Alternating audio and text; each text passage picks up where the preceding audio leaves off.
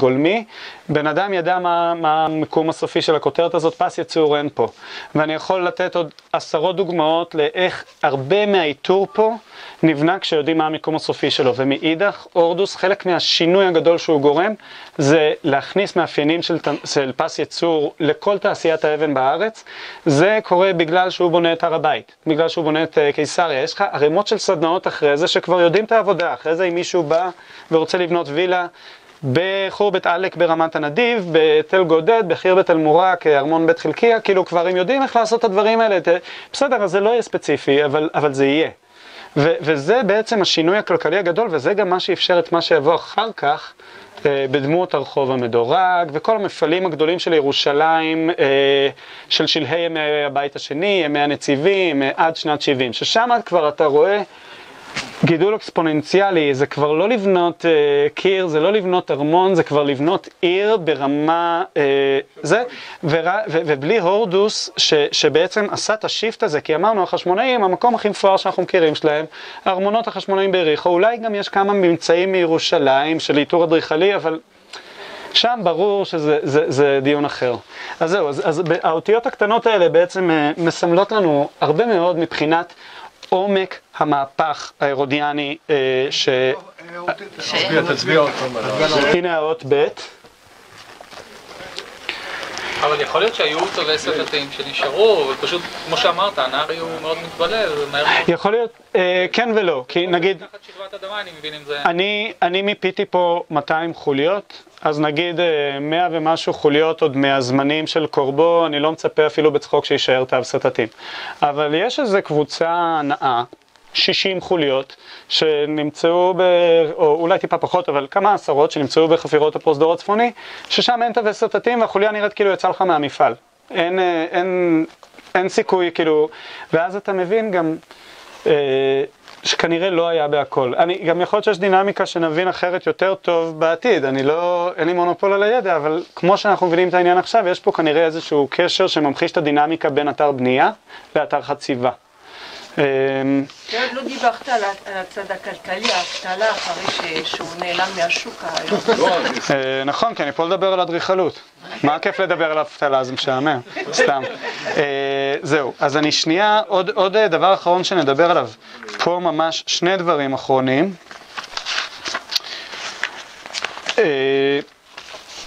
בעצם האבן שכבודה יושבת עליה, הכל בסדר, את יכולה להמשיך לשבת. לא, לא. אוקיי, זו חוליה שהיא נורא מוזרה. אין עוד דברים כאלה באתרים אירודיאנים לפחות כמו שאנחנו מכירים אותם היום. למה? יש לנו חצי עיגול של עמוד אחוז שדבוק למין מלבן כזה. אנחנו קוראים לזה פילסטר או אומנה. אומנה זה בעצם עמוד בצורה מרובעת שיכול להיות בנוי מבלוקים, לא עמוד עגול. אנחנו בעצם רואים פה חצי עמוד עגול אחוז לאומנה מלבנית חופשית, כלומר שמסוטטת מכל הצדדים שלה. זה נורא מוזר. כל העמודים האחוזים שיש לנו אצל הורדוס, תמיד החלק האחורי שלהם נבנה, נבנה יחד עם הקיר, או לא מסוטט בכלל, ככה זה בסרטבה, במבנה המונומנטלי בהרודיון, בגן השקוע בארמון השלישי, כאילו אני יכול... ורק בהרודיון, פתאום אנחנו, וזה גם טיפוס של עמוד שלא הכרנו עד שחזרנו למחקר פה ב-2014. העמוד הזה, החוליה הזאת יושבת איפה שהיא נמצאה פחות או יותר. היו כאן עוד איזה חמש כאלה, היה כאן איזה קיר של מורדים שבנוי מהם. נמצא אחת ממש בחדר הכניסה. ההבנה שלנו שזה חוליות שנפלו מלמעלה. כשדיברנו על המרפסת של המגדל, ושזה בעצם פעם ראשונה שאנחנו יכולים אה, לקשר אה, בין אה, בסיס של מגדל אירודיאני למבנה העילי שלו, העובדה שהחוליה הזאת מגולפת מכל הצדדים מרמזת שבעצם היה לה איתור כלפי חוץ ואיתור כלפי פנים, כלומר לא היה איזשהו צד אחורי שלא נראה. ובאמת כאילו, בעמוד 12 בחלק התחתון, יש לכם אה, איזושהי הצעת שחזור למרפסת, לאיך מרפסת כזו נראתה במגדל המזרחי. יש... כן, שם למעלה, למעלה, למעלה. גם המגדל המזרחי מצר טיפה כדי להקנות לו יציבות, יש בערך סנטימטר שניים שמצרים כל כמה נדבכים, אתם רואים את זה פה למשל. אה, ואנחנו מעריכים שהמרפסת למעלה הייתה פחות או יותר בקוטר של 17 וחצי מטרים, ואז בהיקף הזה אנחנו יודעים לשחזר פחות או יותר, השחזור הכי הגיוני הוא של 32 עמודים כאלה של מרפסת תצפית. הכותרות שלהם היו כותרות קורינטיות. אה, הייתי מאוד חצוף להציע את זה. ואז אחרי, אה, רועי פורט האמין בי, ואני, ויעקב קלמן ורחל צ'אצ'י, המנהלים של המשלחת, ואחרי סקר מאוד מאוד מאוד מאוד מדוקדק של כל האבנים פה בזה, מצאנו בסיס אחד, שהוא גם מגולף מכל הצדדים. אה, בכלל שם זרוק עכשיו בטרקלין אנשים, מאז הוא נשבר פעמיים והוא היה חשוף 60 שנה. למזלנו הוא סרוק בתלת מימד לפני שש שנים לפני שהוא נשבר, אז יש תיעוד ממוחשב. ומצאנו אפילו כותרת קורינטית שנמצאת ממש פה עכשיו מוצבת, שאם מסתכלים עליה טוב רואים שהיא לא עגולה, אלא יש לה תחת אה, צד אחורי מלבני. אז, אז באמת אנחנו יכולים להגיד ש... הרכבנו עוד פיסה קטנה בפאזל, ואנחנו יודעים לה, אה, להגיד שכן, היו מרפסות אה, בראשי המגדלים, ויש פה איזשהו הד, איזשהו אשרור הדדי לתיאורים של יוספוס את המגדלים בירושלים. שבעצם הוא מתאר אותם ממרפסות של עמודים בלמעלה שצופים בגובה עשר אמות, שזה קצת אה, טיפה, אנחנו משחזרים את זה טיפה יותר אה, גבוה, 12 אמות, אבל לא מאוד שונה. ועד היום אה, חלק מהאנשים תפסו את התיאורים של המגדלים האלה פנטסטיים קצת, אה, בייחוד ששניים מהם עדיין לא נמצאו, יש לנו רק זיהוי ודאי אחד. אז, אז אני כן חושב שהתיאורים של יוסף עושה את ירושלים נכונים, לפי הממצא מהרודיון. לא יכול להיות שהיה גשר בין הקיר החיצוני למגדל? פה אין קיר חיצוני. מה שאתם רואים, כל האבנים האלה זה אבנים שאנחנו סידרנו עם השופל. בעצם פה הייתה קריסה של הקירות ההיקפיים, וכדי לחפור את כל האזור הזה היינו צריכים לפנות אותם. הגבעת חול מאחורה זה השפכים של האפר המלאכותי של הורדוס. אוקיי? אתם, כשהתחלנו לחפור, אם תסתכלו בתמונות מלפני שש שנים, תראו שהחול הזה מגיע עד קצה המגדל. רואים ממש על קו האבנים של המגדל איפה... אה, זה הגיע, ובעצם כל זה היה, עמד להתמוטט, וגם מצורך אה, בטיחותי על הקהל זה עמד להתמוטט לכיוון הזה.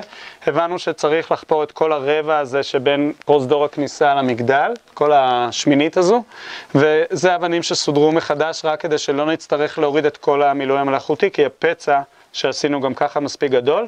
מה שזה נחמד, אפשר לראות את, הש, את השכבות של המילוי המלאכותי, מי שירצה.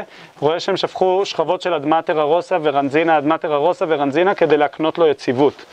אה, זה, זה השפוכת של המילוי המלאכותי. בסוף השריפה, מחילות. השריפה, מחילות, אוקיי, כל ההר גבינה שוויצרית, הייתה פה מחילה שרצה במילוי, עכשיו זה באוויר. בשלב מסוים היא נתקעה בקיר של המגדל ורצה על המגדל, ובעצם לתוך חדר הכניסה.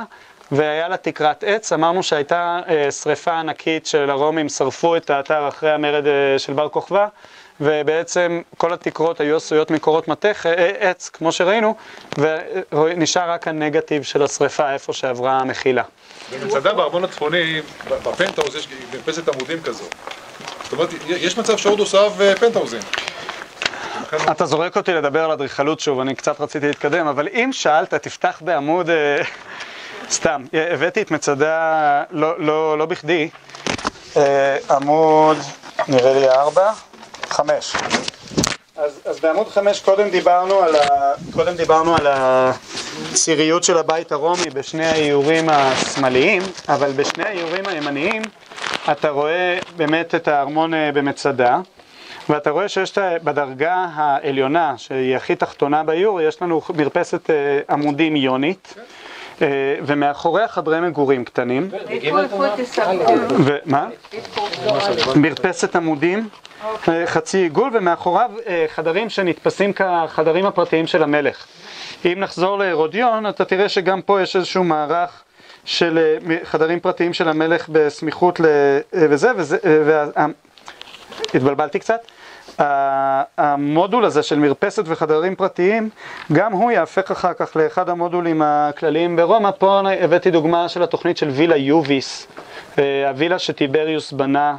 אה, והיא נחנכה בשנת 27 לספירה, כלומר 30, 40, 50 שנה אחרי מצדה, אבל גם פה יש לנו מרפסת שצופה לים וחדרים פרטיים ממש אה, לידה, ו- ו- וזה גם נהפך באיזשהו מקום למודול רומי של מבנים שנקראים וילה מריטימה, של וילה על הים שצופה לים, ויש מאמר שלם של אה, אדריכל בריטי בשם ג'קובסון, שגם חקר הרבה את הר הבית, שמדבר על הארמון הצפוני במצדה בתור איזושהי פרסוניפיקציה של וילה מריטימה על ידי הורדוס, רק שצופה למדבר ולים המלח, אבל זה כבר אה, פילוסופיה אדריכלית למתקדמים.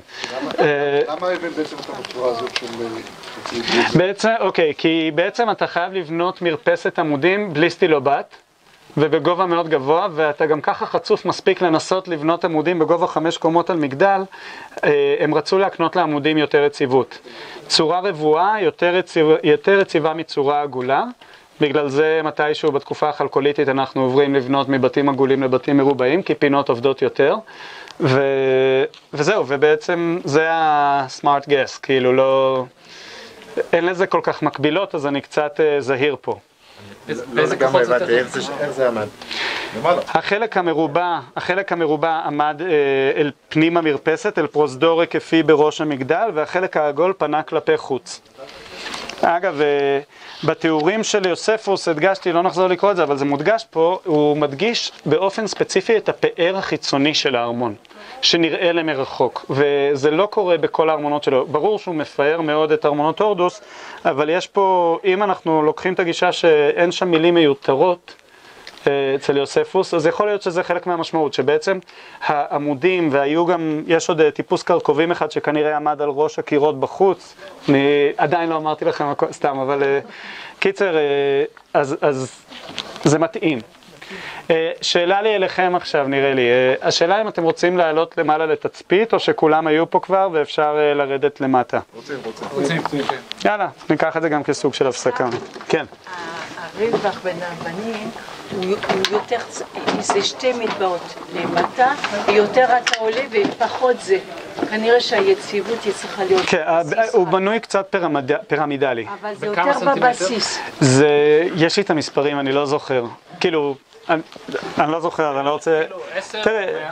לא, אה, בראש ההשתמרות זה בעצם הקוטר קטן לדעתי באיזה 20-30 סנטימטר. אתה לא צריך הרבה, אתה רק צריך כאילו...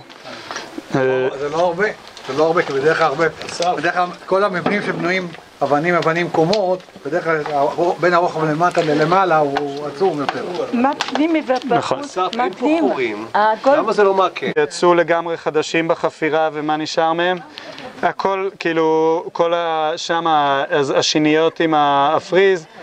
ש... בחוץ האבן, לכל מי שתהה אם היא חייבת להיות מטויחת או לא, היא חייבת. בדיחות גסות.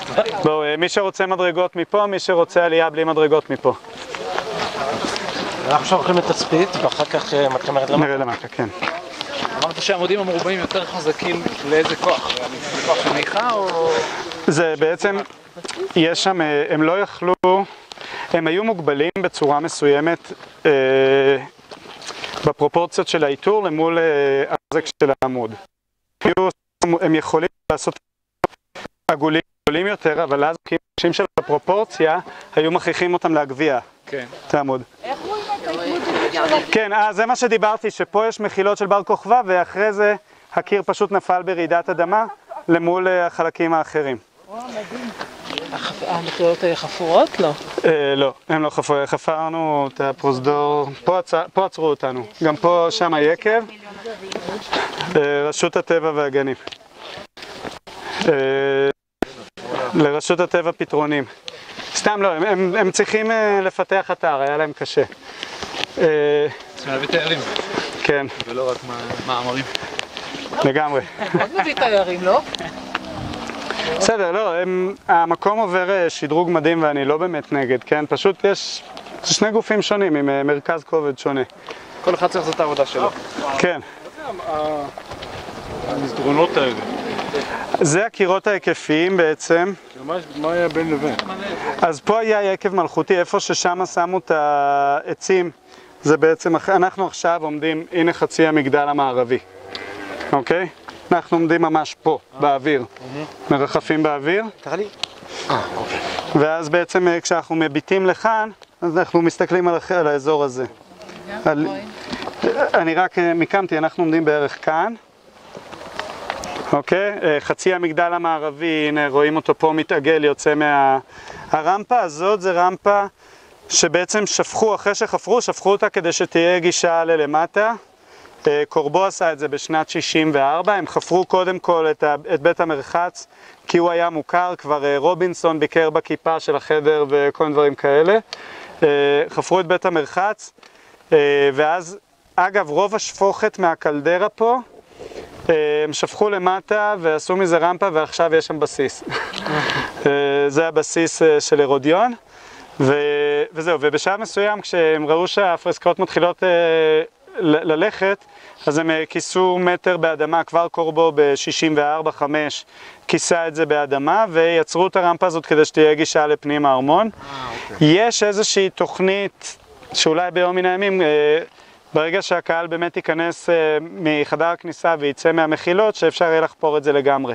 אבל הקיר החיצוני זה זה, איפה ש... כן, הקיר החיצוני זה זה, בדיוק. נכון? בדיוק, שם חצי המגדל הצפוני, כן. רואים את אה, גרם המדרגות אה, וחדר הכניסה, המגדל המערבי, ובעצם שם המגדל הדרומי, חצי המגדל הדרומי.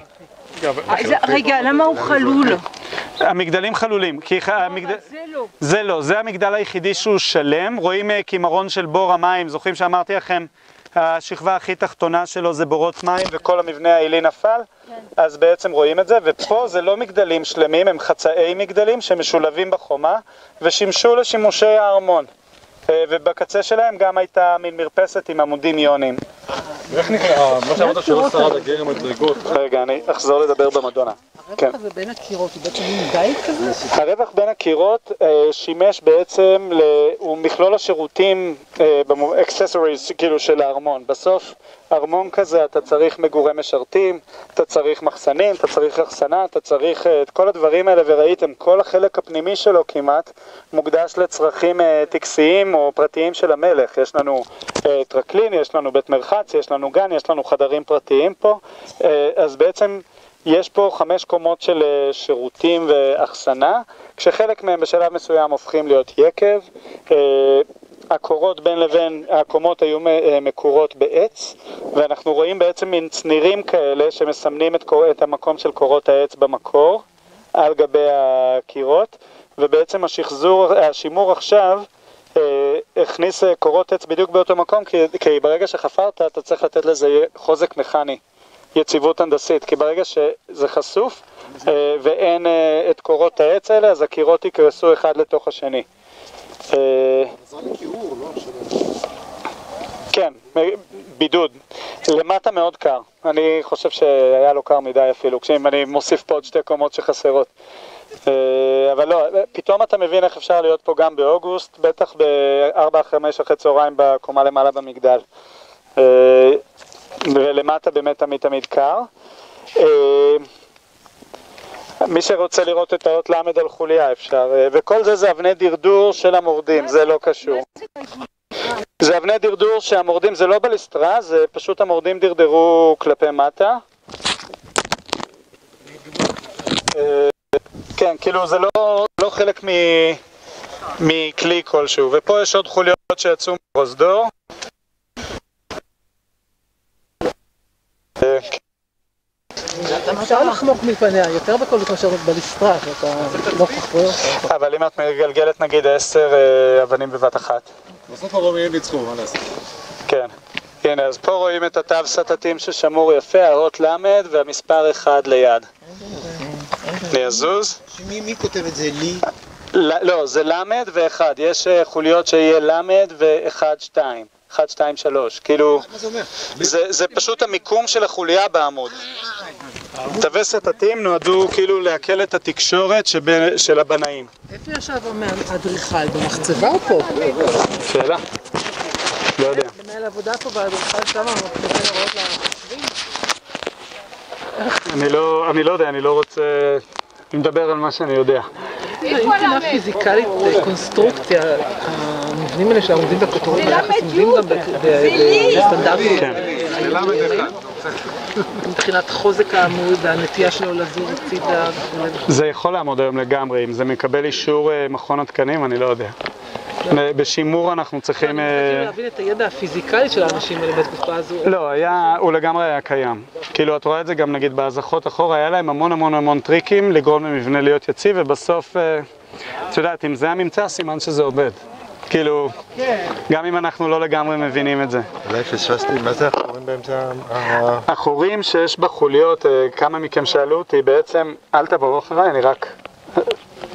שתראו, אה, בעצם, שימו לב שכמעט כל פריט שיש לו סימטריה סיבובית כלומר הוא עגול, יש את החורים המוזרים האלה מרובעים, אה, קוראים לזה חורי שגם, דאוול הולד, בעצם כדי להשתמש במחרטה, lathe, L-E-T-H-E, אה, כשאתה בעצם יש לך את האבן הגולמית, אתה עושה לה, מסתת אותה ישר משני צדדים, תוקע בה אה, שני פיני עץ ומתחיל לסובב, ואז מתחיל ליצור ככה את הצורה העגולה, אה, מחרטה, בדיוק כמו שחיזבאללה וחמאס אה, משתמשים סתם, אבל אה, יש את זה תמיד רק לסימטריה סיבובית.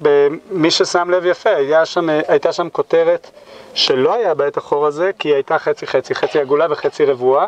סליחה, בחוליה שהצבעתי עליה של העמוד שאחוז לאומנה חופשית, אין את זה כי הוא לא יוצר, שם הם היו צריכים להשקיע הרבה יותר כדי ליצור את, ה, את הצורה העגולה באופן מדויק. זה לא יכול להיות שן שהחוליה תתלבש. אחרי זה לפעמים הכניסו בהם קליבות של עץ או מתכת קליבה, כלומר איזשהו פין שחיבר שניים, אבל דווקא, בואי נגיד שזה השימוש השניוני.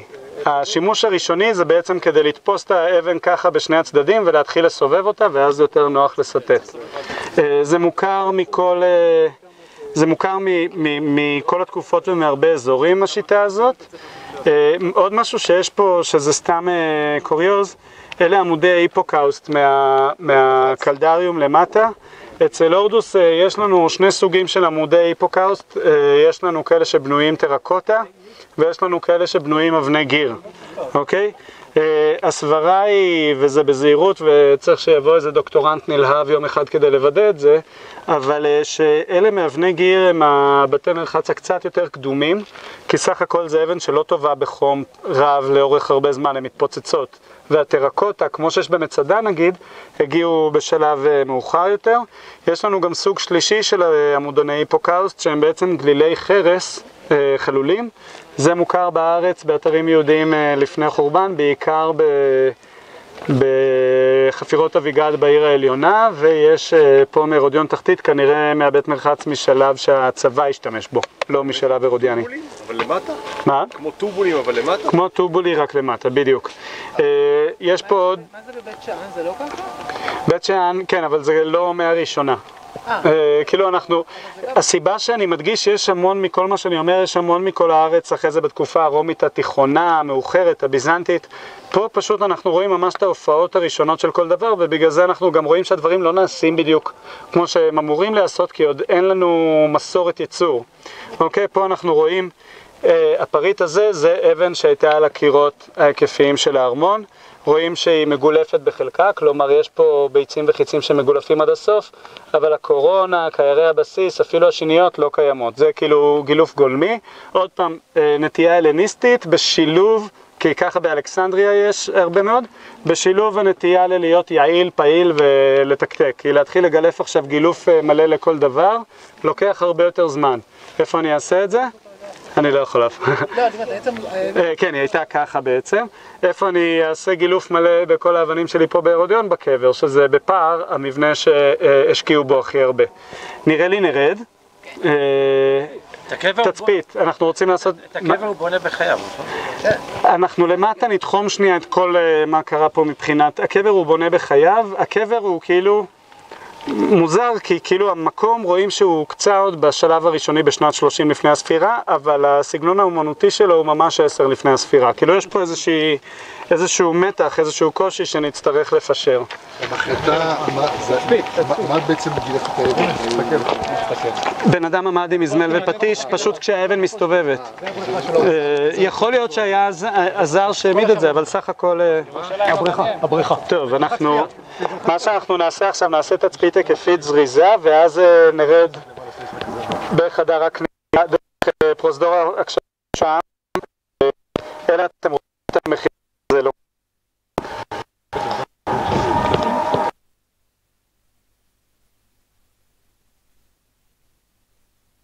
Thank you.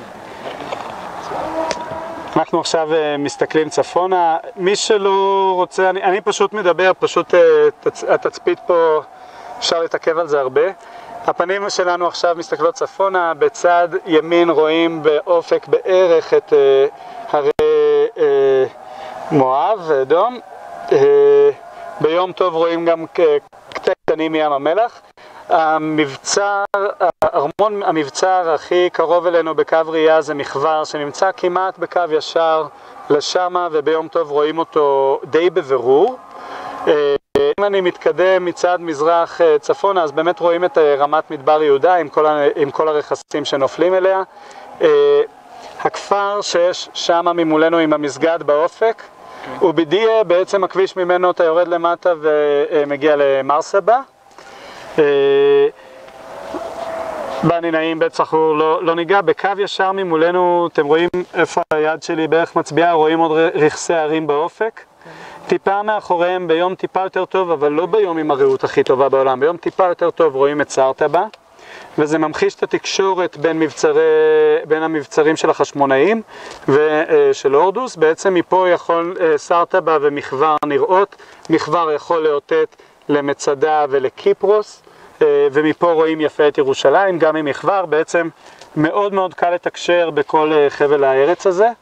ירושלים כמובן ממולנו, אנחנו רואים את אה, שלושת, המבני, שלושת המגדלים בצד המזרחי שלה, עטור, אוגוסטה ויקטוריה והר הצופים, נמצאים בתוך יער פחות או יותר שם. אם מתקדמים אה, עוד טיפה שמאלה, אז רואים את כל המבנים החדשים מהאזור של אה, אה, רמת רחל, ורואים את אה, הר חומה, זה בעצם השכונה הבנויה הלבנה היותר קרובה מולנו, ואז יש ואדי בלי בנייה, ואנחנו נכנסים מצד אחד, אה, אנחנו נכנסים לכל הגוש של בית לחם, ארטס בג'אלה, אה, כשאם אני ממשיך ממנו עוד טיפה הצידה, יש הר מיוער עם אנטנה, זה הר גילו. אה, פה יש לנו את אה, פורדיס, זעתרה, בית עמרה, השבטים הבדואים מסביב, ואנחנו גם רואים יפה את המתחם של אה, הרודיון תחתית. אה, אני אתחיל איתכם מהבריכה, בעצם הבריכה יש אה, עמודים שהתחילו לשחזר אותם תוך כדי החפירה כמעט אה, בשנת 87 ואז זה נעצר בגלל האינתיפאדה.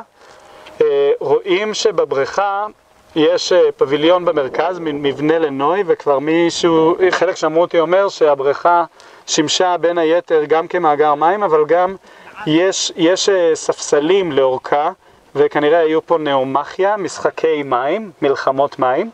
אם אה, תסתכלו מהפביליון שמאלה, אתם רואים שאחרי שורת העמודים יש מין עוד חדר אה, כזה שמה, ובעצם אנחנו עוד פעם מדברים פה על איזושהי ציריות בין הפביליון לחדר הזה.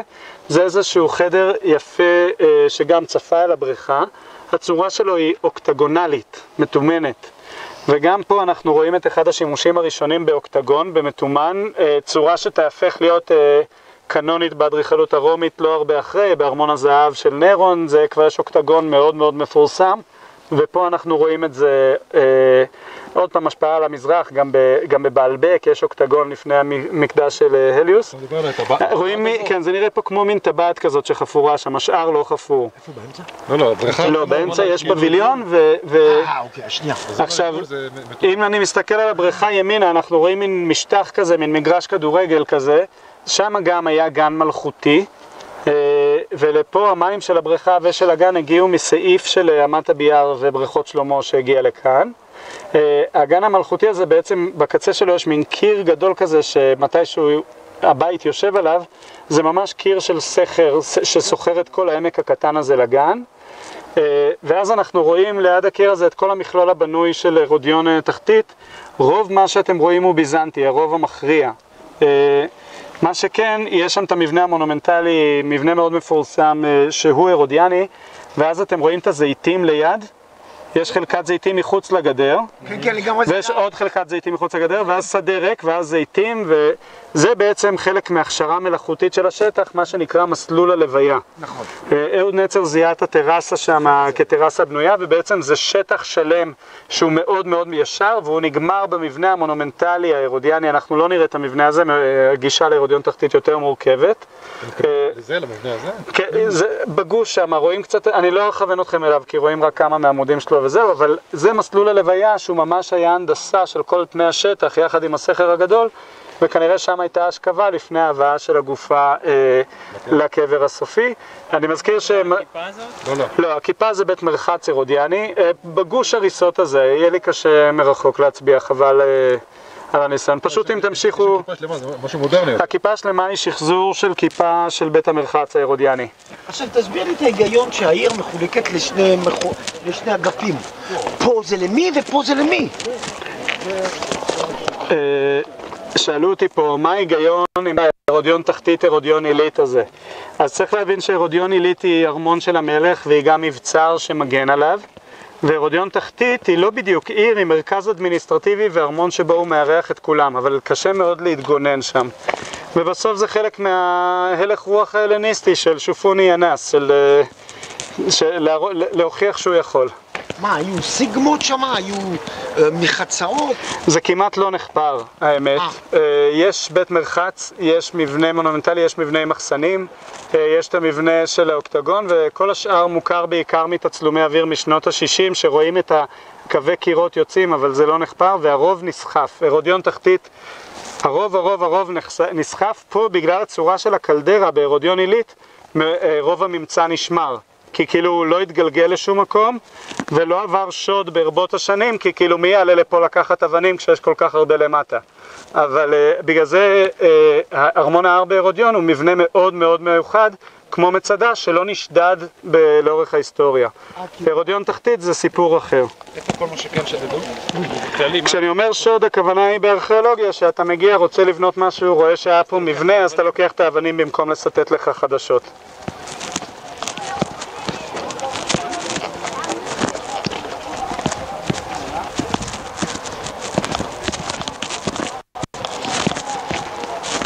זהו, עכשיו אנחנו עם הפנים פחות או יותר אה, מערבה או, או טיפה דרום מערבה. אפשר לראות ממש את ההבדל בין האזור הים תיכוני לספר המדבר ולמדבר יהודה בהמשך שנראה עוד רגע. הוואדי שמתחיל פה ומנקז את כל האזור ונכנס פה ומתחיל להעמיק זה נחל תקוע, שבהמשך שלו יש גם את אה, מערת חריטון ומנזר חריטון. אה, אנחנו רואים את היישוב תקוע כאן. והכפר שנמצא, יש מין עמק כזה מעל היישוב ואז יש כפר אה, שם על צלע הגבעה, סליחה, שמה, איפה שרואים את הכביש גם נוסע, זה הכפר תוקוע, שהוא הזיהוי של תקוע המקראית. אה, מעל, מעל האזור הזה אנחנו רואים את הרכסים באופק שהם גבוהים יותר, שמורת טבע כנוב, כל האזור הזה, הרכסים הגבוהים שבין בית לחם לחברון. בעצם חברון, לא רואים אותה, אבל היא, היא ממש מאחורי, כל האזור של חברון חלחול ממש מאחורי הרכסים הללו. אה, גם האזור של אה, מגדל אה, עוז, מגדל... כן, הוא קצת יותר שם. אפרת, אפרת רואים אותה ממולנו, זה הבניינים האלה. אפרת זה היישוב הכי ארוך בארץ יחד עם אריאל, אז היא מתחילה בגדול בבית לחם ונגמרת בגדול שם. כאילו, זה לא מעלה אדומים הכי ארוך? לא, לא, היא ממש פרוסה, כן, כאילו. גבעת הדגן. כן. אנחנו נלך לצד הדרומי ונראה יותר טוב את, את הוואדי של חריטון.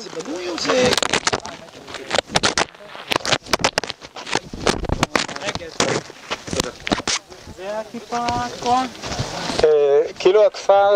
אתה רואה שיש. כפר אה, ערבי שיש אה, כביש שעובר בתוכו כזה, שנראה מאוד ברור, זה האזור של תקוע. כן, וזה תקוע א', תקוע ב', ג', ד'. יש אי. יש, יש אה, הרחבה אחת. נכון.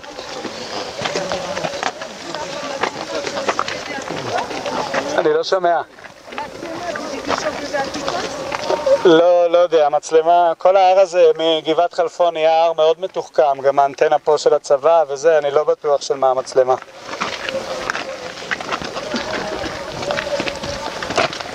לעשות את שבחנו. בוא נצא לדרך. כן. כן. רוצים טיול פשוט. בשבוע ה' בשבוע הבא. לאום אל-עמד ואל-זכר. איזה כיף. כן, כן. נהדר שם. טוב, אז אה, הצד היותר רומנטי שנשאר לתצפית, כי פעם כל האזור הזה כבר התמלא בבנייה, הצד הדרומי עדיין אה, משקף יפה את אה, ספר המדבר ואת מדבר יהודה. אנחנו רואים בעצם את נחל תקוע מעמיק פה מאוד. אה, היישוב פה מתחתנו עם הכיפה הצהובה זה פורדיס. אה, שבעצם זה איזושהי אה, וריאציה על השם של הורדוס בערבית, אה, הורדוס ביוונית זה הרודיס, אה, יוונית, ואז זה נהיה ג'בל פורדיס, אה, וזה הכפר פורדיס. נחל תקוע, אנחנו רואים את תקוע, האזור של חריטון אה, הוא יותר שם איפה שהוא מעמיק. יש לנו פה גם את שדה בר, נוקדים וכפר אלדד. אה, ואנחנו רואים יפה את הרמה של מדבר יהודה, והצ'ופצ'יקים פה, מי שמכיר, אום דראג', כל המשטרות הירדניות בריטיות האלה. אה, זהו, ופה דווקא רואים יפה גם, אה, קצת יותר טוב. לא, לא רואים יותר טוב. באתי להגיד, לדבר על הצד השני, אבל... אה, איפה זה מעלה לך? באיזה גובה של ים המלח אנחנו מה? איזה גובה של ים המלח? לא רואים את ים המלח. לא, אבל אנחנו בערך פה, צפון ים המלח כמה? אתה עדיין בצפון ים המלח, פחות או יותר, אתה מצפון, לא, לא קהליה, אתה בין, אה, טיפה מצפון למצוקי דרגות. אוקיי. אבל ים המלח זה בצד שם, לא, לא, לא, הוא פה, הוא לאורך כל הצד מזרח. הצפון שם, המזרח שם. מדבר, כיוון המדבר. אסף, תגיד משהו על השקיעה הזאת של האבנים, יכולת להגיד קודם. זה... כן, אוקיי. אגב, אה, מה שדיברנו קודם על אה, זה שכל ההר הוא גבינה שוויצרית ויש מחילות של בר כוכבא ובעצם הם הפילו את הקירות, רואים את זה יפה גם פה. כשאתם רואים ממולנו, רואים קטע קיר שעוד עומד עם שני חלונות ואז יש מין הנמכה כזאת. כל הקיר, והחלונות אפילו נשארו שלמים, כל הקיר פשוט נפל באזור ממולי וגם פה רואים את הנפילות האלה וכאן הנפילה הייתה כה חמורה שהיינו צריכים פשוט שמה לבנות מחדש ולשים את זה, כאילו לפרק את הקיר. כי פה זה נש... נפל אבל עדיין עומד, שם זה כבר... בגלל המחילות? זה בגלל, בעצם זה בגלל המחילות, שרפו אותם ואז זה נשאר לעמוד, ואז נגיד 300 שנה אחר כך הייתה רעידת אדמה וזה פשוט קורס. איך אה, משמרים את הפרסקאות שעמדו בחוץ? מתכוון... שימור פרסקאות זה, זה בלאגן. לא, לא אה. עכשיו. בתקופת הורדוס. בתקופת הורדוס הוא כמו ניקול ריידמן ממאושרות, פעם בעשר שנים עושה חדש, מה, הוא לא צריך לשמר. זה לא היה מוזיאון שלו, זה היה הבית. אה, טוב, אה, פה עכשיו אה, קצת סגור לנו, אני כן אגיד... לא, אין, אין הרבה מה להגיד. בואו נלך למטה לקבר ולתיאטרון, מי שרוצה עוד ימשיך טיפה להסתובב פה, אני מתחיל ללכת.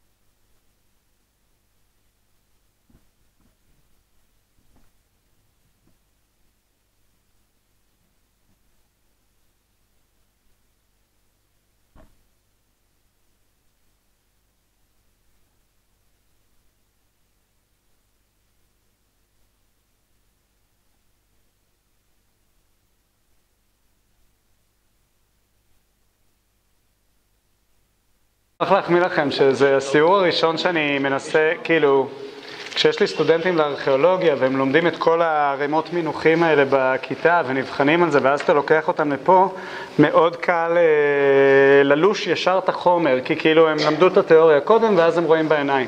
אז אני מוכרח להחמיא לכם אה, שאתם קבוצה אדירה במובן של כאילו... eager to learn, אה, אה, ממש, ו- וכל הכבוד. עכשיו, לא, לא, כפרה עליך. זה מדהים. איפה אנחנו נמצאים עכשיו? אז איפה אנחנו נמצאים עכשיו? אנחנו בבור מים, אנחנו בבור מים, אה, עכשיו זה השלב שצריך להתרכז, זה בור מים כפול, כלומר יש לו מדור אחד והמדור השני נמצא שם, תאומים, כלומר יש בור מים זהה לזה מאחוריי, אוקיי? ויש מעבר ביניהם פה. אז בעצם יש לנו פה אה, זוג בורות מים תאומים. אה, כשהתחיל, אה, בעצם אחד הדברים הראשונים שאהוד נצר עשה יחד עם בית ספר שדה כפר עציון, היה לחקור את המערכת הזו שבדיוק אנחנו ירדנו בה עכשיו. כולכם שאלתם אותי המון שאלות עליה, אז אני עכשיו אענה במסודר. וכשהם הגיעו, הם גילו פה נפחים עצומים של חול. וזה עוד פעם מחזיר אותנו, כל, זוכרים שאמרנו, כל המנהרות שלוחמי בר כוכבא חפרו, הם מילאו את בורות המים איתם? זה בדיוק זה. אחרי זה כשנצא, אל תקומו עכשיו, אתם תראו ששם אה, אה, נצר והחבר'ה רוקנו את הבור עד לרצפתו, ובעצם אנחנו עכשיו עומדים עדיין על המילוי של לוחמי בר כוכבא חפרו, ולא הוצא עדיין, בערך, אה, הרצפה של בור המים בערך שני מטר תחתיי. אוקיי? ובעצם הפריצה הזאת, זה פריצה של לוחמי בר כוכבא, וגם כל המדרגות וכל המנהרה שירדנו בה. וזה גם אולי מי מכם שמבין שאנחנו לא במחילות מסתור של המרד הראשון שהן תמיד מחילות מילוט, מי מכם שזכה לחיר בית מדרס כזה, אה, שאתה בסוף צריך לזחול, אתה לא תיקח חנית במנהרה הזו, אתה לא תיקח אבן קלע, אתה לא תיקח כלי נשק, אתה לא תיקח ציוד, אתה תיקח מקסימום קצת אוכל ושתייה. אה, ואלה מנהרות שלוחם זה לא נוח כמו ללכת בשדרות רוטשילד, אבל לוחם יכול לעבור שם. אה, וזה מעיד על העוצמה של לוחמת הגרילה. אה, וכשאני אומר שכל ההר כמו גבינה שוויצרית פשוט לא כולו נחפר, לא כל המנהרות מוכרות, תחשבו שבריא, ידוע לנו ש... כל החלקים התחתונים של הפרוזדורים ההיקפיים מולאו באפר מהמחילות האלה, כמו גם שני בורות מים לא קטנים בכלל.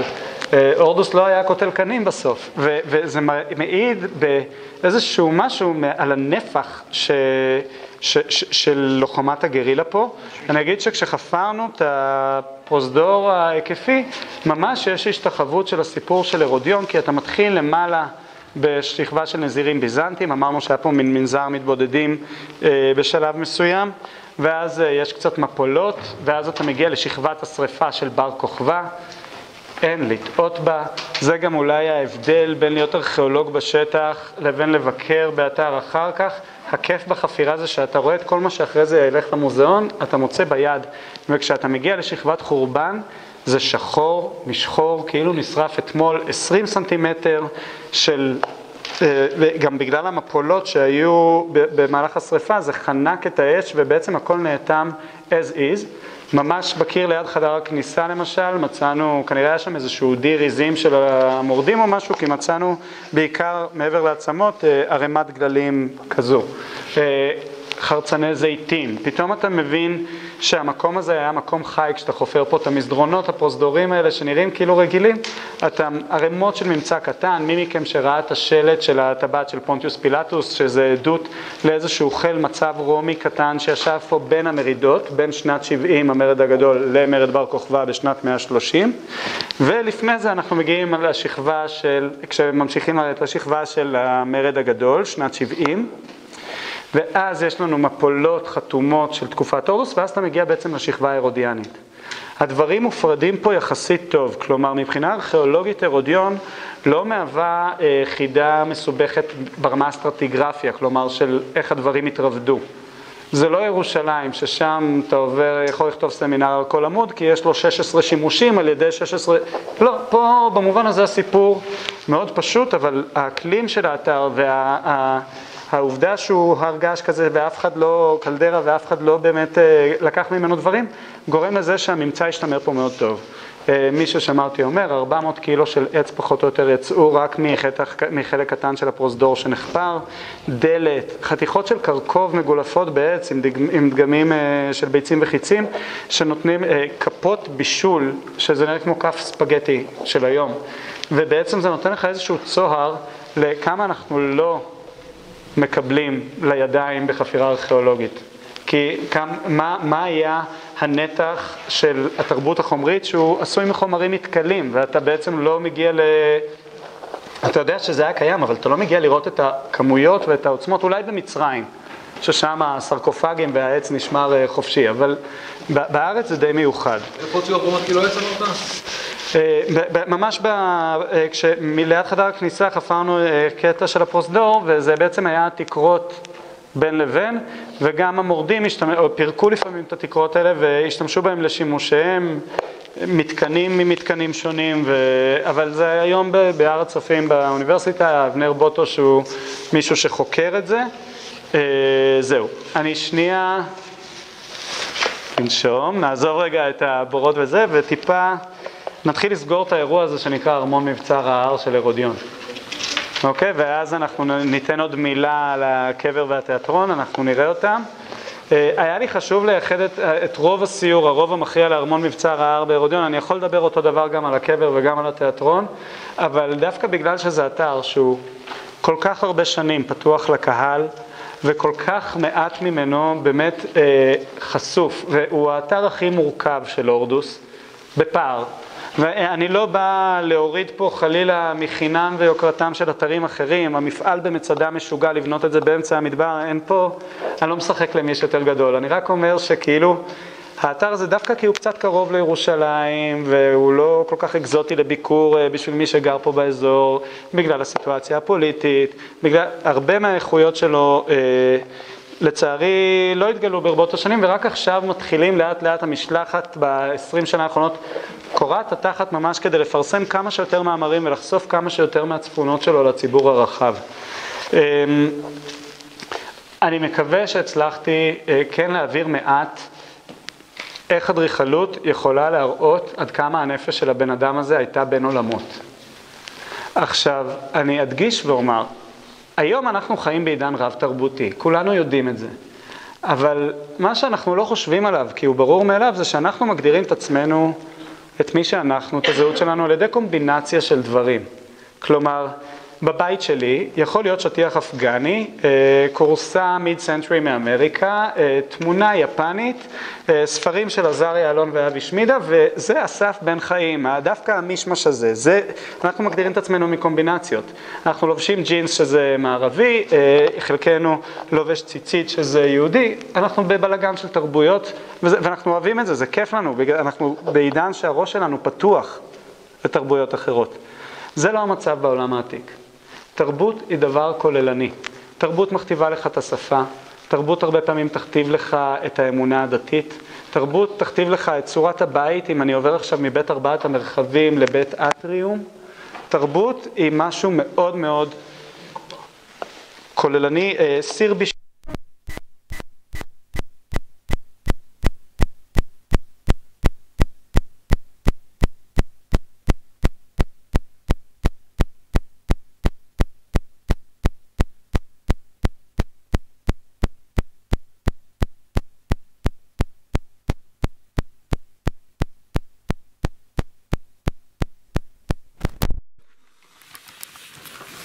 להבין את האדריכלות והאיתור של הורדוס זה להבין בדיוק את השינוי במעבר מהלניסטי לרומי.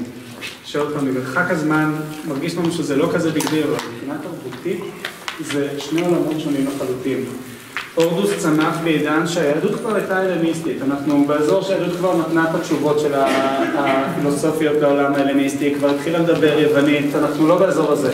להפך, הדבר המגובש מבחינה יהודית היה יהדות הלניסטית ראשים צדוקים, כל הזה, אבל עדיין, והוא חי בדיוק בעידן של המעבר לרומא, לתרבות של כוח, לתרבות של היררכיה. הוא, אני חושב שמה שמדהים באיתור פה זה מראה שעם כל כמה שהוא רצה להיות רומי, ואמרנו פה אין ספור, אה, הראינו אין ספור אנלוגיות לרומא בתוך המבנה הזה, היסוד ההלניסטי והמקומי נשאר. וזה אולי משהו שמחדש. כי אנחנו תמיד רגילים לחשוב על הורדוס ככן, המלך הרומי הראשון, רצח את כל החשמונאים היווניים, זה, והביא, והכל נכון, אבל, אבל זה רק מראה עד כמה הדברים בעיקר מורכבים בנפש של הבן אדם הזה. זה בעיקר מראה כמה אנחנו מדברים פה שהאיתור מגלם שכבות של זהות, ויש דברים כמו הזהות שלך שאתה לא יכול להיפטר מהם, לא יעזור בית דין.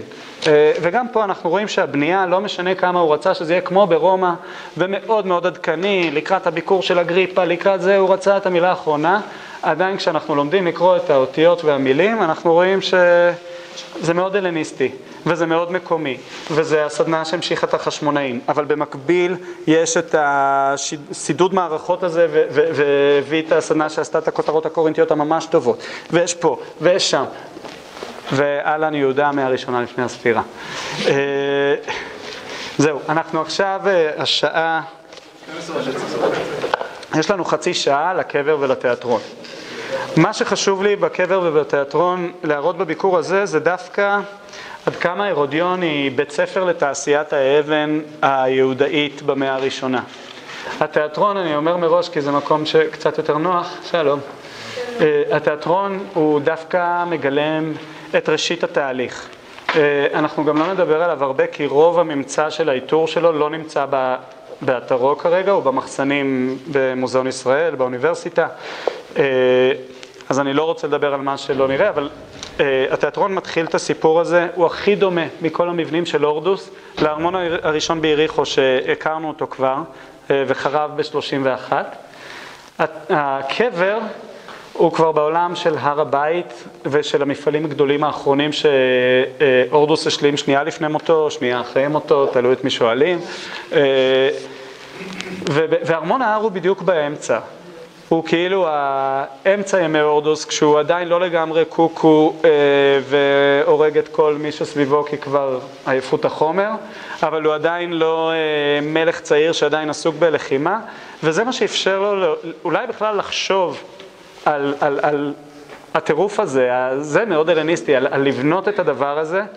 אה, יש אה, מאמר אה, יסוד לכל התחום הזה בקתדרה משנת 80, דיון, שקלות של דיון בין אהוד נצר, יורם צפריר, אני מובא, גדעון פרסטר, אני לא זוכר עכשיו את כולם ולא נעים לי, אבל מה הורדוס יותר, מלך רומי, מלך הלניסטי, או מחדש בעצמו את הדברים?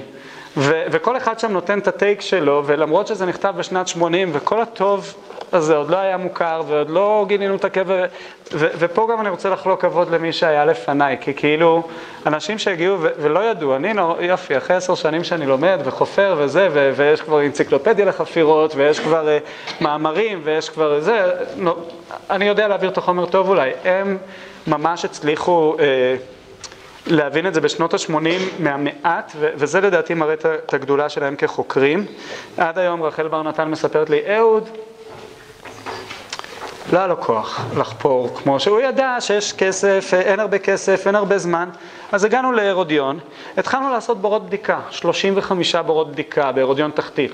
פה מצאנו פיסת קיר, פה מצאנו, ואז הוא כדרך התחיל לחבר את הקווים. ככה גם עשינו ביריחו, ואז ברגע שלאהוד כבר הייתה את התוכנית הכללית של האתר, אז הוא התחיל לחפור את זה כמו שצריך. ו... וזה גם איזשהו משהו לגבי התעוזה של אה, ארכיאולוגים ישראלים, שאני לא חושב שנופלים ברמתם ארכיאולוגים אחרים. אה, יצא לי לעבוד עם אה, גרמנים, ועם, כאילו כולם טובים, כולם זה, אבל בסוף אני חושב שמה שהאקדמיה הישראלית השיגה ב-60-70 שנה, זה מכובד מאוד. וחשוב לי, כן, כאילו העברתי פה המון המון המון ידע. אורית פלג ברקת, גדעון פרסטר, אהוד נצר, אה, הם 80 אחוז ממה שאני אמרתי עכשיו. התרומה שלי הייתה לסדר את הפאזל. אה, זהו, אז נמשיך עכשיו לקבר ולתיאטרון. אני שנייה אגיד לפני שהולכים, אנחנו נסיים את הסיור בתיאטרון, שם נתפזר, ומי שירצה יראה את הסרט בחדר, אה, בחדר המלכותי, מאוד מאוד מומלץ. אני אולי גם אגיד שם כמה מילים, פשוט אני מרגיש שיש גבול גם כמה אפשר לסחוט את הלימון, אז... ואני מעדיף לדבר על הקבר. לא, אבל אולי רשום פה. אגב, מי שרוצה שיבוא ויראה פה את העומק האמיתי של...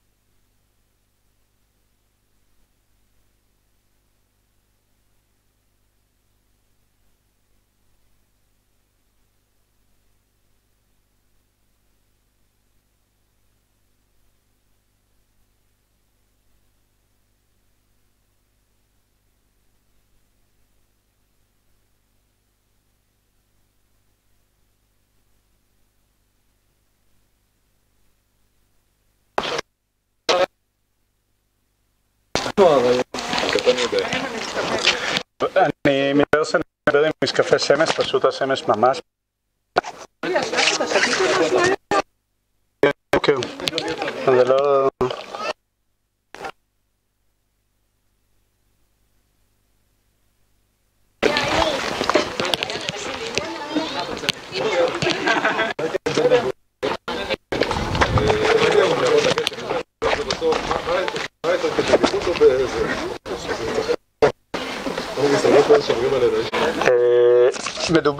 בעצם באחד ממבני הבידור להמונים הראשונים שאנחנו מוצאים במזרח ההלניסטי בכלל. אה, וטיפה נדבר למה אני לא בטוח שזה תיאטרון. התיאטרון אה, כמוסד ציבורי נוסד באמת גם הוא חלק מהתרבות היוונית לצד הגימנסיון והאיצטדיון ואודאון כמו תיאטרון קטן ומקורה להקראת שירה נגיד אה, ותיאטרון יווני תמיד נבנה בהתאם לטופוגרפיה על צל ההר. אה, לא תמיד היה לו מבנה מאחורה כמו שאנחנו מכירים כי הרבה פעמים הוא היה, כאילו הוא התייחס לנוף שמאחוריו ואנחנו יודעים מכל מיני כתבים, מפינדרוס, וש, שהייתה במה לפעמים מעץ או במה ניידת או, או קלעים באופן כזה או אחר וזה מאוד שונה מתיאטרון רומי, אני גם, פה אני אשתדל לא לזרוק יותר מדי קללות, אבל לכל חלק בתיאטרון יש אה, שם, קווה, סקנפרונס, לא משנה. תיאטרון רומי לא חייב... אנחנו בתיאטרון יווני? אה, מי אמר שאנחנו בתיאטרון? אה, תיאטרון אה, רומי לא תמיד חייב אה, בנייה לפי טופוגרפיה, אלא בגלל שהרומים כידוע עשו שימוש נאה מאוד בקשתות, אז הם בנו את הטריבונות על גבי מבנים, וזה מה שאנחנו מכירים בעצם מהתיאטרון ההרודיאני בקיסריה, שמאוחר בערך 20 שנה לאיפה שאתם יושבים. קיסריה נחנכה ב-10 לפני הספירה לדעתי, אם אני זוכר נכון. Uh, התחילו לבנות אותה ב-22 לפני הספירה, זה כבר עמד כשהתחילו לבנות את קיסריה, אוקיי? Uh, יוספוס מספר לנו שמבנה הבידור הראשון שנבנה בארץ בעצם הוא תיאטרון עץ בירושלים, שאחרי זה הוחלף בתיאטרון אבן, ועד היום זו חידה גדולה שרבים וטובים ממני אוהבים להתקוטט איתה עליה, אם מצאו את המושבים שלו או לא מצאו. התיאטרון הזה, כמו שרובכם ודאי יודעים, uh, בעצם בשלב מסוים, אוקיי, אז נסדר מחדש, יש לנו שנת 30, הורדוס מגיע לגבעה הזאת, לצורך העניין אולי המגדל המזרחי כבר עומד, מחליט סך הכל אה, לבנות את ארמון ההר. מה? ב-40 הוא היה פה בקרב. לא, אני מדבר שנייה לסדר את מהלכי הבנייה. הוא מבין שפה רוצה לעשות משהו גדול, משהו על שמו, הרודיון אף פעם לא מתפקדת כעיר במובן שיש לה תושבים, אבל היא כן נ- מתוארת כאיזשהו מרכז אדמיניסטרטיבי, בירת מחוז של האזור הזה, טופרכיה, לא משנה. אבל, אז יש לנו על ההר מגדל, הוא מחליט לבנות את ארמון ההר, הוא מבין שהוא צריך לקשר בין הלמעלה ללמטה, אז הוא בונה את הגרם הקדום, שאנחנו נראה אותו, לא דיברנו עליו הרבה, רק אמרנו שאנחנו לא יודעים איפה הכניסה שלו, ולצד הגרם הקדום בנו התיאטרון הזה במערכת צירים שמתאימה לגרם הקדום, בגלל זה אנחנו יודעים להגיד שהתיאטרון הזה, הורדוס חשב עליו כבר בטקט הראשון של הרודיון, ומה שמעניין ומסבך לנו מאוד את התמונה, זה שגם מבנה הקבר בנוי בהתאם לציר גרם המדרגות הקדום. למרות שכאילו הקבר נבנה ממש אחר כך, ה- ה- לפחות השרטוט שלו על המפה, על הגרמושקה, היה כבר uh, הרבה קודם. התיאטרון uh, בשלב מסוים אמרנו, uh, התיאטרון כולל איזה שהם קאברט ותא צפייה מלכותי, שיש לו שני חדרי אגף. הייתה קומה שנייה מעל התא צפייה הזה, נדבר על זה אחר כך. ובעצם, למה אני אומר שאנחנו לא יודעים אם זה בכלל תיאטרון? א', הוא נורא קטן, ברור שגם אם הועלו פה הצגות, הם למלך, לפמלייתו ו- וכהוא זה, לא, לא הרבה מעבר, זה, אני לא זוכר, אבל זה ממש כמה מאות, 300 איש אולי. דבר שני, בגלל הפירוק המכוון אנחנו לא כל כך יודעים מה היה בצד של הבמה, ובעיקר, בעיקר, בעיקר אנחנו לא יודעים, אנחנו לא יודעים אם אה, היה פה את מבנה הקלעים מאחורה, מה שנקרא scaenae frons, screen front, המסך ש, שב front, אה, אנחנו לא יודעים אם זה היה. עכשיו, אה, אה, אם תסתכלו בשלטים למעלה, אתם תראו שזה משוחזר עם, ואתם רואים גם שהשחזור פה של הבמה גורם לכם לחשוב שזה היה. אה, לא נמצאו פריטים אדריכליים שמתאימים לזה, לא נמצאו אה, יסודות מספיק גדולים לבמה כדי להחזיק מבנה של שתיים ושלוש קומות. ובעיקר כמו הרבה דברים שקשורים נגיד לכותרת הקורינטית שדיברנו עליהם, בגלל שזו הפעם הראשונה שבונים דבר כזה באזור, קצת קשה להאמין שישר עושים את זה by the book, במובן של אה, כל... אם היינו עכשיו במאה השלישית, שנייה לספירה, באחת מערי הדקפוליס, ברור שמספיק לי למצוא כזה חתיכה קטנה ואני מבין כבר שאני בתיאטרון עם כל מה שזה אומר, כי כבר יש מסורת, יש תרבות, פה זו פעם ראשונה, וגם הוא בנוי על צל ההר, מה שאולי זורק אותי למבנה של תיאטרון יווני בכלל, ולא בהכרח תיאטרון אה, רומי. מה שמעניין בתיאטרון הזה באמת זה התא למעלה. אותו מאמר שסיפרתי עליו קודם, של רחל בר נתן ויהודית גרטנר, בעצם סוקר מבני תיאטראות בבתים פרטיים במאה הראשונה לפני הספירה. הן מזהות את כל הקונספט הזה, המודול האדריכלי של תיאטרון עם בוקסה כזאת למעלה בקצה, בכלל כמשהו פגאני דתי, כי בנו תיאטראות ולמעלה היה מקדש. אוקיי?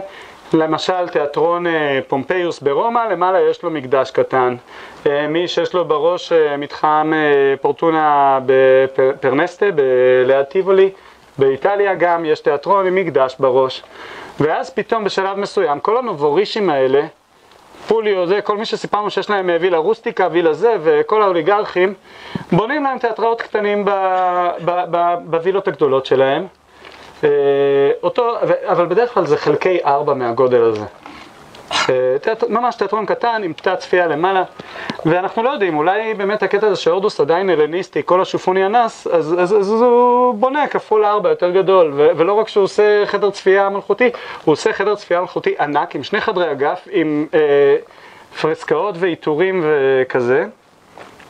אנחנו יודעים שמרקוס אגריפה, מספר 2 באימפריה, ביקר פה כנראה בשנת 15, והיום החוקרים מזהים שהשכבה האחרונה של הפרסקאות שמתוארכת לזה. קצת אחרי זה, אורדוס מחליט לסגור את העסק, ומפרקים את התיאטרון ומכסים אותו בחול במסגרת שפיכת האפר המלאכותית של התל. בעצם הוא רוצה מדרון נקי, כל uh, מכלולי המחסנים שיש פה ונמצאו ושהלכנו לידם בבוקר, הכל מכוסה. בעצם הוא רוצה מדרון נקי עם גרם מדרגות, קבר, וההר הענק הזה, שנראה כמו טומולי, כמו איזה תל קבורה אה, אתרוסקי. יש כאלה שיגידו שיש פה איזושהי אצבע משולשת לחבר'ה מירושלים, שהוא וידא שיראו את זה מכל מקום. אה, אי אפשר לסתור את זה לגמרי עם כל העליות והמורדות. אני מזכיר לכם שהוא ביקש להרוג 100 מזקני העם ביום של המוות שלו כדי לוודא שכולם עצובים. הקבורה של התיאטרון הזו בעצם אה, גרמה לכל הטוב הזה להישמר. המושבים שאתם יושבים עליהם זה שחזור מודרני, זה לא המצב. אה, לדעתנו היו פה מושבי עץ, אה, ואם היו מושבי אבן הם נראו ככה, כמו המושבים של השלב ההרודיאני בקיסריה, בהיפודרום ובתיאטרון שמה.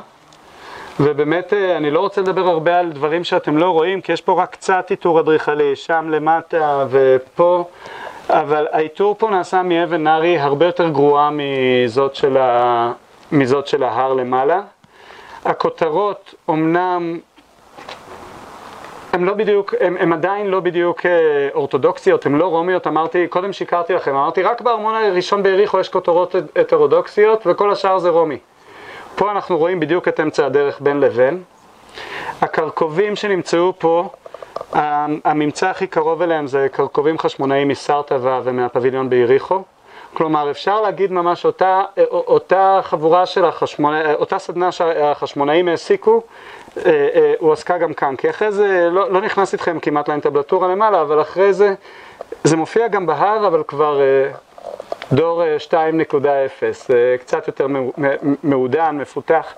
אז בעצם התיאטרון הזה, אם, אם, הייתי, אם הייתם מראים לי רק את אוסף הפריטים, בלי להגיד איפה אני זה, הייתי אומר, סוף חשמונאי, תחילת הרודיאני.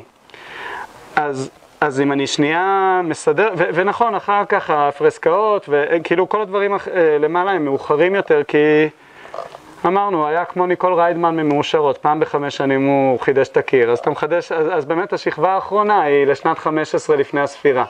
אבל השכבה הראשונה היא, השכבה, העיטור האדריכלי פה הוא הרבה יותר אה, זה. אין פה כמעט גילוף לפרטים בסלע, הרוב בסטוקו.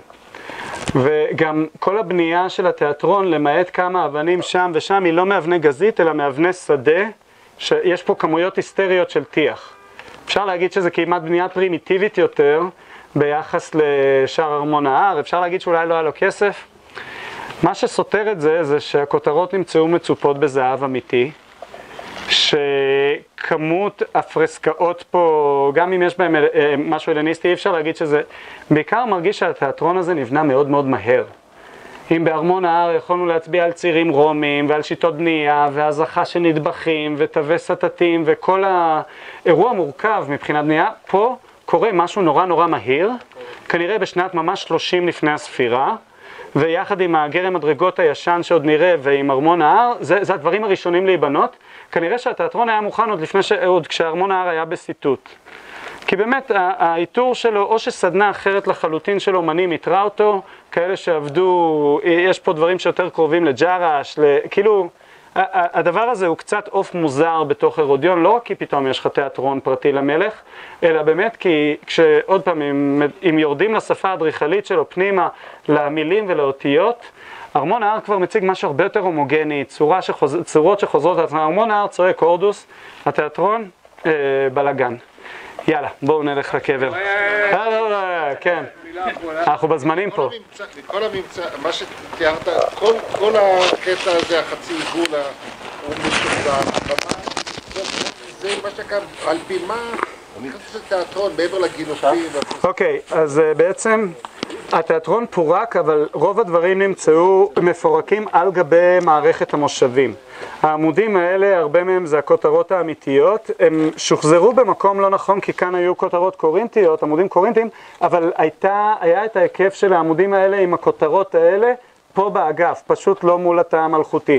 בסוף יש פה איזשהו מתח שאתה צריך לפתח אתר, והרודיון זה כבר אתר שקולט המון המון קהל, אלפי אנשים, ואתה לא יכול להשאיר את זה אתר בנייה במשך אה, 20 שנה, אז, אז היה פה איזשהו מתח ואיזה שהן פשרות בין פיתוח לבין אה, דיוק אה, אקדמי. אגב, אלה הכותרות הדוריות היחידות בכל הרודיון, וגם הן עם בסיס, למרות שהן לא אמורות להיות עם בסיס, מה שאומר שזה כותרות בכלל טוסקניות, זה, זה, עוד פעם, זה רפובליקאי, יש פה אירוע מוזר. אני, אנחנו בסוף היום אז אני לא רוצה להיכנס יותר מדי, אבל הכותרות האלה שוחזרו אה, ממש מהממצא בשטח, הם גם שוחזרו בתערוכת הורדוס, אה, ובעצם פירקו אותם ממוזיאון ישראל והרכיבו אותם מחדש פה, בגובה טיפה שונה, ב, אה, אבל, אבל סך הכל זה זה. רגע. רגע, לפני התחנה האחרונה, מאיר רוצה להגיד תודה בשם הקבוצה. מאיר בשם עמיתי בשם הקבוצה. מאיר, מאיר, מאיר, תרד למטה, תרד למטה. הרב מאיר אורדן, לא, לא, הדוקטורנט. גם דוקטורנט, גם דוקטורנט. בארכיאולוגיה. הרב- של שוודיה. תתקרב אוקיי, לפה. קח את המיקרופון. לא, לא, לא, לא, לא, לא. אז באמת אני מובך גם אה, ככה. תודה רבה בשם הקבוצה. כמו שהוא הציג, אני גם לומד לדוקטורנט בבר אילן ומורה דרך, והייתי בהרבה סיורים פה, אבל היית צנוע לאורך כל הדרך ואמרת שזו לא התורה שלך, זו התורה של המורים שלך. שזו האמת. אבל אני חושב שהסיור הזה היה מדהים, גם מבחינת כן. גם מבחינת, מבחינת איכות ההדרכה למדנו המון, היינו תלמידים טובים, אבל למדנו המון, והצורה באופן שהעברת את זה וגם הסבלנות הייתה באמת אה, מעל ומעבר, ומה שאנחנו רוצים להגיד שעתידך לפניך, בטוח שנשמע עליך הרבה, אז תודה רבה. תודה רבה. כיף. יאללה, בואו נראה קצת אה, אלמנטים של מוות. קבר. תודה רבה רבה.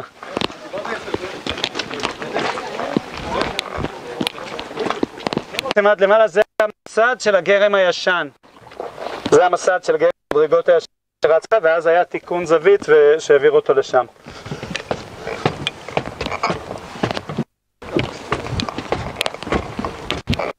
עקרונות. רגע, אסף, סליחה שנייה, אפשר להיכנס לחדר. לתא הצפייה המלכותית? התא הצפייה המלכותי, מי שירצה ייכנס, אני הבטחתי שבאחת אני מסיים את הסיור, יכול להיות שייקח לי שתי דקות יותר, ואז אחרי זה בדרך חזרה אפשר אה, לראות את הסרט בתא הצפייה. כמה זמן הסרט הזה? דקות, אני לא זוכר... אה, הסרט הזה באותה צפייה? עשר דקות. כן, אני, אני אסביר את זה תכף. אוקיי, רגע, נעלה על... תיזהר אבל. אני בסדר. אה, אז אנחנו פה עכשיו בשנה האחרונה בקבר הורדוס. אה, בעצם אנחנו רואים שהוא חצב לו מין טרסה כזאת במדרון, ורואים פה את השכבות של המילוי המלאכותי, ופה היה איזשהו קיר תמך.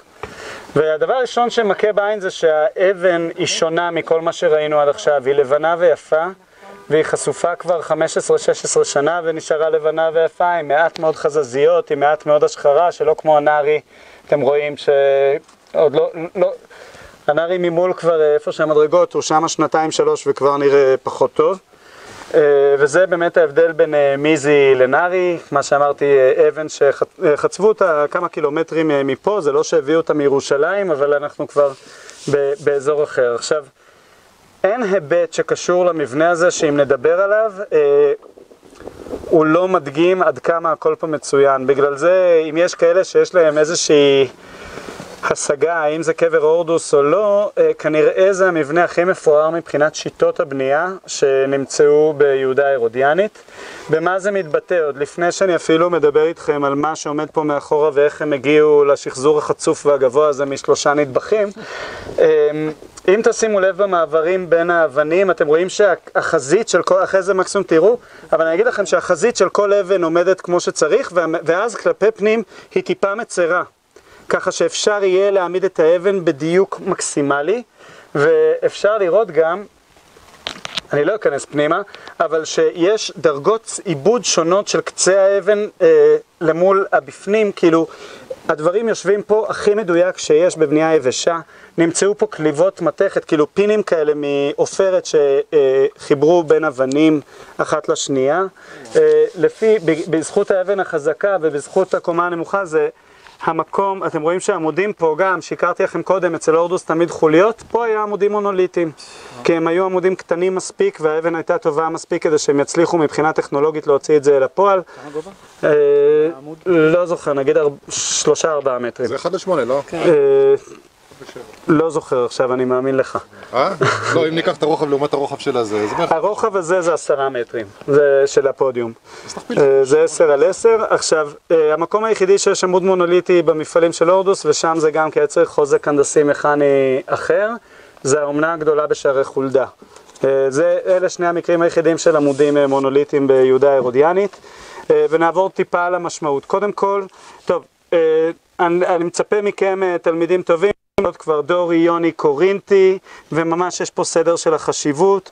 גם הדמיון ליד אבשלום, ש... ואני מזכיר שזה נבנה קודם, מראה עד כמה המבנה הזה במעט זמן שהוא עמד על תילו היה, היה לו אימפקט מאוד מאוד חזק. Uh, הקומה התחתונה היא בעצם בנויה מאיזשהו פודיום, טוב, ואז קומה רבועה, שבתוכה היה חלל הקבורה עם סרקופגים. אפשר לראות פה שאת החד... את המתווה הפנימי של המרובע, עם פינה אחת קצת ששרדה. על, על הדגם, מי שיעבור אחרי זה יראה פס שחור שמייצג את מה ששרד בפועל, כי הקבר הזה הוחרב ביד אה, מכוונת, כנראה על ידי המורדים של שנת 70, שהורדוס לא היה אליל נעוריהם, ו, ובגלל זה, אה, בייחוד הדבר ניכר בסרקופגים שנמצאו פה, נמצאו פה אה, שלושה ארבעה סרקופגים שבעבודת נמלים ניתן היה לבנות אותם מחדש, אחד מהם מוצג היום, המפואר מביניהם, מוצג בתצוגת הקבע של מוזיאון ישראל. אה, המון אבקת עצמות בין לבין וה-DNA כרגע מראה אה, שני חיילים רומים ועוד שלושה זכרים שעוד עובדים על להבין אם הם מקומיים, יהודי, יהודאיים והאם נגיד יש ביניהם קשרי משפחה כי יוספוס מספר שגם אה, לצד הורדוס הוא הביא את הגופות של חלק מהילדים שלו. זהו, עכשיו מבחינת כל מה שדיברנו, אם אה, בהתחלה אמרתי לכם, היוונים ולא יכלו לערבב את הסדרים, זה היה ממש אה, חילול הקודש, sacrilegious אה, כזה, אז פה אנחנו רואים שיש לנו כותרות דוריות עם הפריז, דור, הפריז דורי, אבל היה גם הפריז דורי ו... סליחה, עם הפריז יוני מעל המטופות והטריגליפים, ואנחנו רואים פה בלגן מאורגן של הכל. בתקופה ההלניסטית הסדרים נשברים. אחרי התקופה הקלאסית לאנשים אין כוח כבר לאת כל המונוטוניות הזאת, ואז הם פשוט מתחילים לעשות סלט מהכל. ביהודה חביב במיוחד באמת הפריז של הטריגליפים עם המטופות, עם ורדות, אנחנו רואים את זה בקברים המונומנטליים של ירושלים, או מלמד, או בקברים בקרב בני חסן, אה, בכל מקום, בעצם כל הפריז דורי שיש אצל הורדוס, יש בו ורדות במטופות, כי הוא, לא, הוא מחליף את זה בעיטור הפיגורטיבי, למעט מחבר. ששם יש הפריז חלק, וזה מה שהביא את זאב משל להציע, שמחבר נבנתה על ידי אנטיפטרוס אבי הורדוס, ולא על ידי הורדוס עצמו. יש לזה סימוכין לכאן ולכאן. אה, אנחנו, הכותרות, הכותרת שהייתה למעלה מהשברים שנמצאו היא בול כמו הכותרות של הר הבית, בעצם הגרסה המשודרגת של מה שראינו למעלה, ומה שמיוחד פה זה באמת הפונפונים האלה, אורנות, ייצוג של אורנה, אורנה, אורן, זה כד לשמירת אפר אה, אחרי, ש... אחרי קרמציה, אחרי אה, קבורה בקרמציה, שריפת הגופה. אה, לא נהג, הורדוס לא, לא נהגה פה קרמציה, אבל עוד פעם מדובר על אימוץ של סממנים פונרריים שקשורים במוות. אחרי זה, יש הרבה שנים חשבו שעל האדריכלות של הורדוס, מי שהשפיע היו הנבטים. וגם מי שיזכר בחזנה בפטרה יש אורנות כאלה בכל מקום, היום אנחנו מבינים שאולי הורדוס היה זה שהשפיע על הנבטים, כי זה נבנה עם אורנות מאה שנה לפני החזנה, שהיא מתוארכת בערך למאה לספירה, חרטת הרביעי, משהו כזה. אה, זהו, אז, אז אפשר, אה, אפשר לראות בעיקר את ה... גם פה הכותרות היוניות, מי שיהיה אם מישהו מגיע לאוניברסיטה העברית, אני אראה לכם אחת על מדף, החזית שלהם מגולפת עד הסוף, כשבדרך, והחזית האחורית מגולפת רק חצי, וזה המקרה היחידי שאצל הורדוס יש כותרות יוניות שהן ככה וככה. אמ, וזהו נראה לי שאנחנו רואים פה באמת איזשה, איזשהו תוצר ברמה הכי גבוהה של תעשיית האבן היהודאית, נכון לסביבות ארבע לפני הספירה. אז למרות שמבנה הקבר מבחינת האוריינטציה שלו הוא מאוד מאוד קדום, אם, אתה, אם, אם נסדר את זה על מפה אתם תראו שזה מגיב ברור שההוצאה לפועל זה הרמה הכי גבוהה שהייתה, כנראה כבר בזמן בניית בית המקדש, העיטורים למעלה באנטבלטורה הם אה, מקבילות שלהם זה רק בבית המקדש, אה, כל מיני דגמים שלא רואים למעלה, לא רואים במצדה, לא רואים במקומות אחרים, ובעצם זה מדגים גם אה, עד כמה זה שהרודיון קרובה למרכז הייצור הלאומי, אה, בעצם האתר הרוויח מזה, כי היה אפשר במהלך יום רכיבה להביא הנה איזשהו סטת אומן, משהו שכנראה לא יתאפשר כשאנחנו מדברים על סרטבה או על מחבר. שהוא הציג את עצמו כאלוקים. אני לא חושב שהוא ראה את עצמו כאלוקים, אבל היה לו מגלומניה. זה לכל הפחות. מצאו פה עמודים כאלה זרוקים באזור? מצאו פה עמודים כאלה, חלק מהפריטים התגלגלו למטה בכנסייה, שיש פה למטה יש עמוד כזה, שרק אחרי שמצאו את הקבר הבינו בעצם, אה, זה בא מלמעלה. בהרודיון תחתית יש כמה קרקובים שמשולבים. האורנות האלה גם מצאו זרוקים פה? האורנות האלה מצאו זרוקים פה. היום בעצם, אתם רואים פה גם, אה, אה, הדברים הארוכים האלה, זה חלק, אה, הפיסות של הגג הכעור, החלקים של הקירוי של הטולוס, של הקומה העגולה. אה, יש שחזור של פלח כזה יחד עם אורנה במוזיאון ישראל בתצוגת הקבע. הגג גם במוזיאון ישראל, נכון חלק מהגג במוזיאון ישראל. כן, כן, כן, יש ממש פלח כזה, slice אה, ממנו במוזיאון. אה, את ההקשרים של מה המבנה הזה עם השלוש קומות ומתי מתחיל, אפשר להעביר על זה סמינר.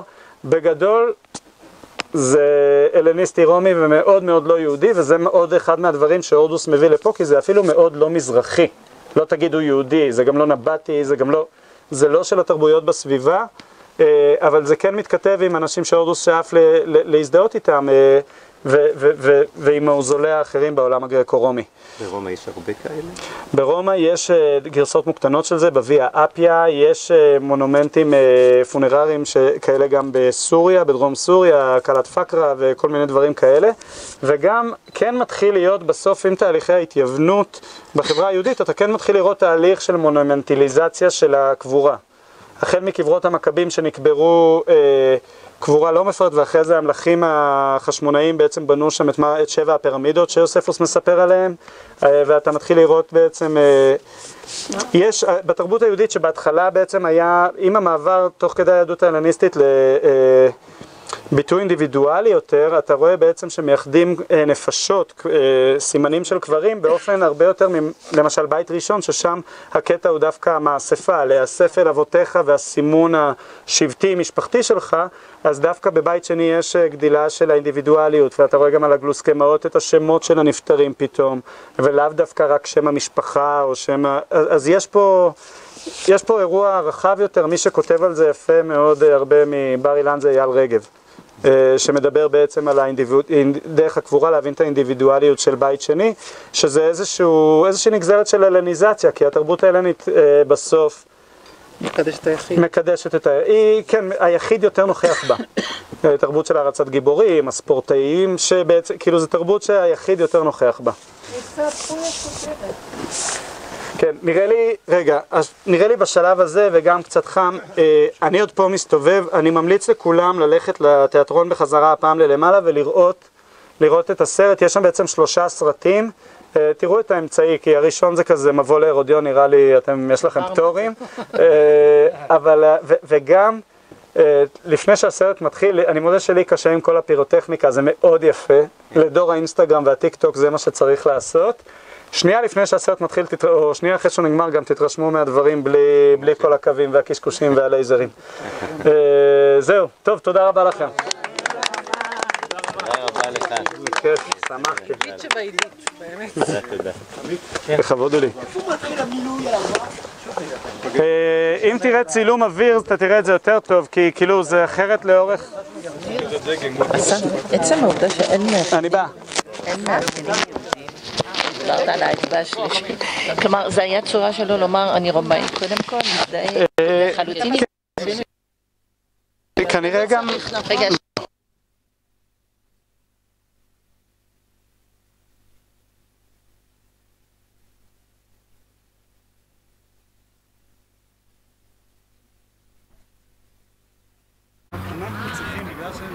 שננסות להבין אותם באופן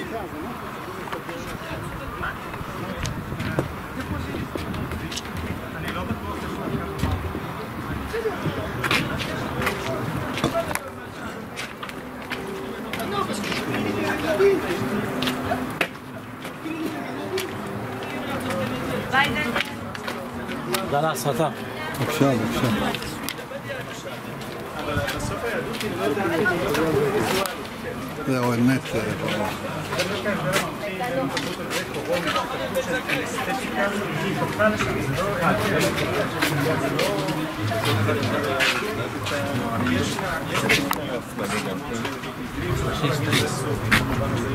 תודה